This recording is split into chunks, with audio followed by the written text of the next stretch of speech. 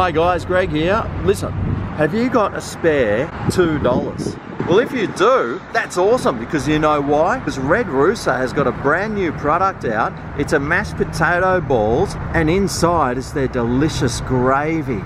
It sounds absolutely awesome. I can't wait to try it. How about we go inside and give it a go? Come on, let's go.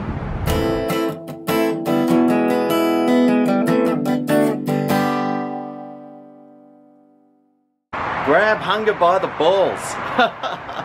it's not me being rude. That's what the sign says. Have a look for yourself. Grab hunger by the balls. Everyone's always saying, Greg, everything you say is so sexual or rude and crude, blah, blah, blah. it's not just me. It's the way we do things here in Australia. I got the balls in my hand. Let's pop some in my mouth. Oh! Have a look at these balls. They look alright. They look like the sort I want to stick in my mouth and chew on. So that's how big they are. I can fit three balls in my hand. Believe me, I've fit more than three in my hand before, and even more in my mouth. Let's have a look and see what these balls look like. Oh, Ooh, look at that. There's a tiny bit of gravy in the middle. This mashed potato, oh, it's hot. Mmm, wow, that even tastes like real mashed potato as well. Oh, hang on. Actually, I think I just got the reconstituted taste then. So they might be reconstituted. Either way, it still tastes pretty good. That's what they look like. That's the amount of gravy that's in there.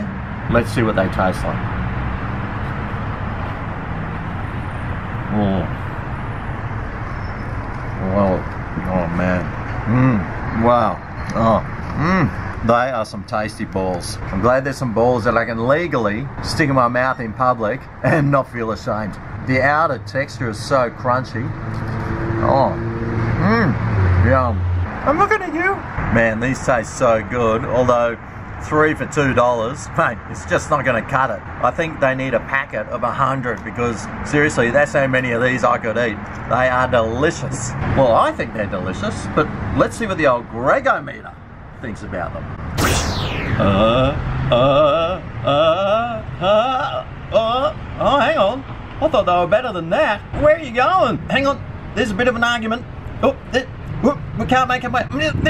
Ah! The old Gregometer has given it its thumbs up. The taste of these are so good, you'll want to buy like oh, 20 or 30 of them. So, what's my recommendation? Well, if you're driving past your local Red Rooster and they've got balls on the menu, mate, go in there and give them a go. It's only two bucks. They taste really good and I'm sure you're gonna love them. Have you tried the new Red Rooster balls stuffed with gravy? If you have, let me know down below. Click hello. Thanks for watching and I'll see you next time for my next review. Anyway, I'm gonna dive on in and finish this last ball off. I'll see you later. Oh, oh, yum. Ooh yeah, this is Greg's Kitchen